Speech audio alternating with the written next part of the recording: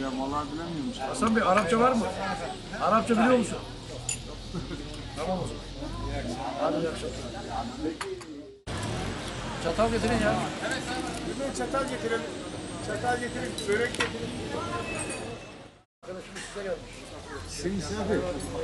Aslan şubeden arkadaşlara götüreceğiz. Yapacağım şubeyi. Orada mı yatacak? Yatacak yer var mı? Gibi bir şey. Yatacak yer var mı orada? Yatacak yer var. Kağıdın neresi? Kağıt. Pasport, pasport. Kağıt. Yok. Kağıt vardı bir tane kağıt. Tamam, onun koy